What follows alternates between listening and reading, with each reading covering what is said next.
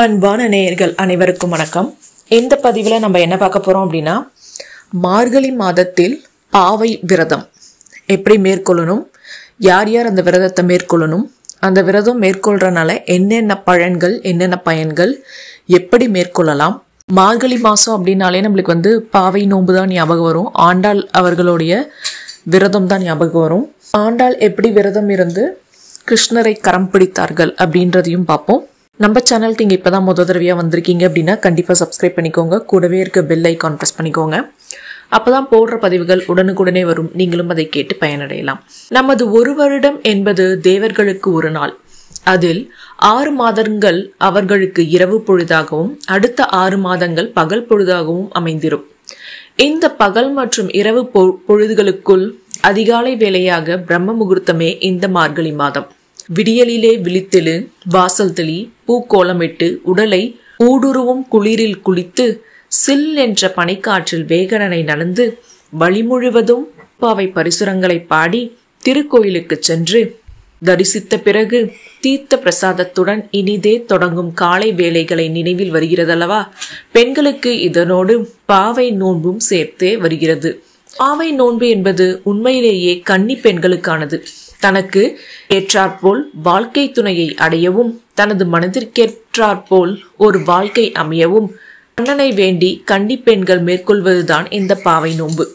பக்தியின் மிகுதியால் தன்னையும் ஆயர்பாடியில் பிறந்த ஒரு பெண்ணாக பாவித்து தான் மிகவும் நேசித்த கடவுளான கண்ணனையே தன்னுடைய கணவனாக அடைய வேண்டி பாவை நோன்பு மேற்கொண்டு ஆண்டாள் பாடிய பாடல்களே திருப்பாவை. பன்னிரண்டு ஆழ்வார்களில் ஆண்டாள் மட்டுமே பெண் என்பதால் மற்ற ஆழ்வாள்களுக்கில்லாத சிறப்பான கண்ணன் மீது கொண்ட பக்தியை அவளால் காதலாகவும் வழங்க முடிந்தது. யார் இந்த ஆண்டாள்? ஸ்ரீவெளிபுத்தூர் பெருமானுக்கு மாலை சூடி மாலை தொடுக்க வேண்டி தான் வளர்ந்து வந்த மாலை மலர் தோட்டத்தில் பெரியாழ்வார் பூப்பறிக்கச் சென்ற பொழுது துளசி செடியின் கீழே கிடந்த குழந்தைதான் ஆண்டாள். பெரியாழ்வார் அந்த குழந்தையை எடுத்து கோதை என பெயரிட்டு வளர்க்க குழந்தை பருவத்தில் தந்தையிடம் கண்ணனின் கதைகளை கேட்டு கேட்டு வளர்ந்த கோதையோ கண்ணன் மீது அபரிமிதமான அன்பும் காதலும் கொண்டு அவனையே தனது கணவனாக நெஞ்சில் ஏற்றாள். தினம்தோறும் பெரியாழ்வார் பெருமாளுக்கு தொடுக்கும் மாலைகளை யாருக்கும் தெரியாமல் ரகசியமாக சூடி இந்த மாலை கண்ணனுக்கு அழகாக இருக்குமா? இதை தானும் சூடி அவன் அருகே நின்றால் இருவருக்கும் பொருத்தமாக இருக்குமா என்று அழகு பார்த்த பின்னரே ஒவ்வொரு நாளும் மாலையை கடவுளுக்கு கொடுத்தனுப்பினாள். ஒருமுறை அதனை நேரில் கண்ட பெரியாழ்வார் மகளை கோபித்துக் கொண்டு மறுநாள் கோதை சூடாத மாலையை எடுத்துக்கொண்டு செல்கிறார். ஆனால் கடவுளோ அந்த வெறும் மாலையை மறுத்து அந்த பெண் சூடிய மாலைதான் எனக்கு ஏற்றது. அதை எடுத்து வாருங்கள் என்று பெரியாழ்வாரிடம் கனவில் தோன்றி கத்தலையிட அன்று முதல் சூடி கொடுத்த சுடற்கொடியே ஆகிறாள் கோதை. திருவரங்கனையே அவள் தனது பக்தியால் ஆண்டாள். அவள் அருளிச் சென்ற திருப்பாவை முப்பதும் வாழ்நாள் வாழும் வாழ்க்கைக்கு ஒரு தனி அர்த்தத்தை ஏற்படுத்துவதோடு ஆங்காங்கே அழகிய அறிவியலையும் அறம் சார்ந்த திருநெறிகளையும் தங்கியிருக்கிறது. கிளி மாதத்தில் பாவை நோம்பினை கடைபிடித்தால் உண்டாகும் நன்மைகள் என்ன என்பதை பார்ப்போம். எவ்வாறு இருக்க வேண்டும் என்பதற்கு உதாரணமாக திகழ்ந்த ஆண்டாள் பெருமாள் மீது கொண்ட அதீத பக்தியால் அவரையே தன் கணவராக அடைய விரும்பினாள். கண்ணனை மணக்க வேண்டி மார்கழி மாதத்தில் பாவை நோன்பு இருந்த ஆண்டாளுக்கு அருள் புரிந்த பெருமாள் புரிந்த பெருமாள் பங்குனி உத்திரத்தில் ஆண்டாளை மணந்து கொண்டார். ஆகவே பெண்கள் பாவை நோன்பு இருந்தால் விரும்பிய கணவன் கிடைப்பார் என்பது நம்பிக்கை. ஆயர்பாடியில் கோபியர்கள் மார்கழி மாதத்தில் அதிகாலையில் ஆற்றுக்கு சென்று நீராடி மண்ணால் செய்த காத்தியானி காத்தியாயனி காத்தியாயனி தேவியை வழிபட்டு தங்களுக்கு நல்ல கணவன் கிடைக்க வழிபாடு நடத்தினர். பெண்கள் கடைபிடித்த விரதமாயின் இவ்விரதம் பாவை நோன்பு என்று வழங்கப்பெற்றது. ஆண்டாள் பாவை நோன்பின் போது நெய் பால் முதலியவற்றை உண்ணாமலும் கண்ணனுக்கு கண்ணுக்கு மையிடாமலும் தலையில் மலர் சூடாமலும் புற அறையில் நாட்டம் செலுத்தாமல் இறை நாட்டத்தில் மட்டும் மனதினை செலுத்தி பாவை நோம்பினை மேற்கொண்டாள். மார்கழி நோன்பு முழுக்க முழுக்க கன்னி பெண்களுக்கே உரியது. இயலுக்கு முன் எழுந்து ஆற்றில் மார்கழி நீராடி ஆற்றில் மார்கழி நீராடி கரையில் பாவைக்களம் ஒன்றை அமைத்து அதில் ஒரு பாவையை வடிவ வடிவமைக்கின்றனர்.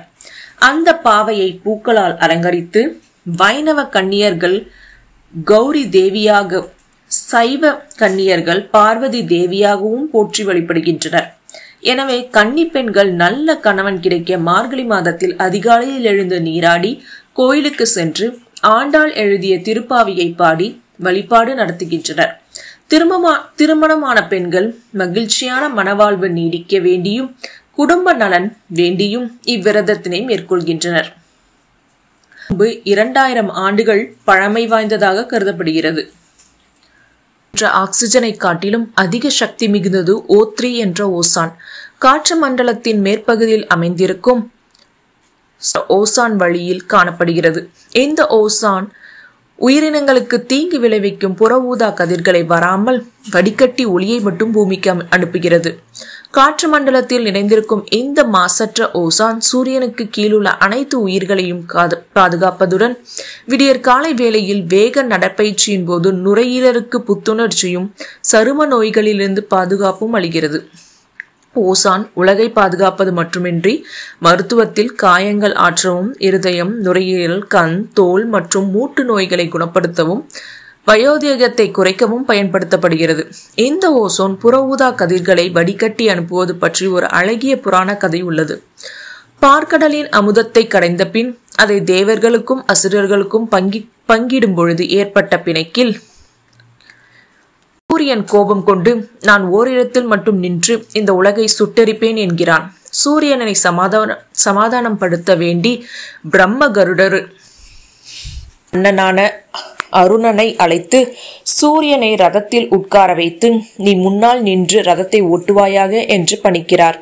அன்று முதல் சூரியனின் வெப்பம் அருணனால் மட்டும் மட்டும் உலகை சுட்டரிக்காமல் ஒளியாக வெளிப்படலாயிற்று.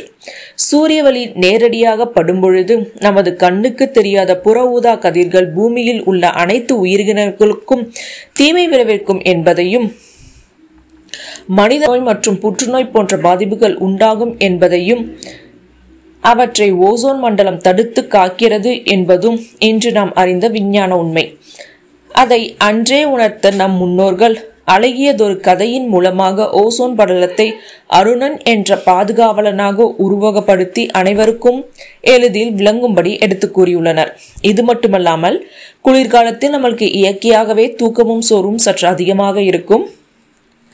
வளர்ச்சி மாற்றங்கள் குறைவாகவும் உடலில் மாறும் என்பதை அறிவியல் உண்மை. மாதம் முழுவதும் தொடர்ச்சியாக வைகரியில் நோன்பு நோங்கும் போது நோக்கும் பொழுது மனித உடலுக்கும் என் மார்கழி மாத குறில் ஆகவே உடலிலும் உள்ளத்திலும் சுறுசுறுப்பை அளித்து வளர்ச்சி சிதை மாற்றங்களை சீரமைத்திட நமது முன்னோர்கள் தொடங்கிய ஏற்பாடு விடியலுக்கு முன்பே வேயும் கூடிய மார்கழி நோம்பாகும். இருபத்தோரு நாட்கள் செய்யும் பொழுது அது முழுமையாக பழக்கமாகி விடுகிறது என்பதே மார்கழி நோன்பு உணர்த்தும் உணர்த்துகிறது. என்னங்க இந்த பதிவு உங்களுக்கு கண்டிப்பாக பயனுள்ளதாக இருந்திருக்கும்னு நம் நினைக்கிறேன். மார்கழி நோம்பு பாவை நோன்பு யாரெல்லாம் எடுக்கலாம்? பாவை நோன்பு எடுக்கிறதுனால என்ன பலன்கள்? பாவை நோன்பு எப்படி எடுக்கலாம்? கல்யாணம் பண்ணிக்கிட்டாங்க. அந்த கதைகள். மற்றும் மார்கழி மாதத்தில் நம்ம ஏன் சீக்கிரம் எந்திரிக்கணும்? நடைப்பயிற்சி மேற்கொள்ளணும் கோலமிடணும். ஓசோன் லேயர்னா லேயர்னால நம்மளுக்கு என்னென்ன பயன்? அதை நம்மளோட முன்னோர்கள் எப்படி சொல்லியிருந்தாங்க அப்படின்னு பல விஷயங்கள் நம்ம இந்த வீடியோவில் பார்த்தோம். நம்ம சேனலுக்கு இப்போ தான் முத தடவையாக வந்திருக்கீங்க அப்படின்னா கண்டிப்பாக சப்ஸ்கிரைப் பண்ணிக்கோங்க. கூடவே இருக்க பெல் ஐக்கானையும் ப்ரெஸ் பண்ணிக்கோங்க. அப்போ தான் போடுற பதிவுகள் உடனுக்குடனே வரும். நீங்களும் அதை கேட்டு பயனடையலாம். இதே மாதிரி வேற ஒரு நல்ல பதிவில் உங்களை சந்திக்கிறேன். அது வரைக்கும் நன்றி வணக்கம்.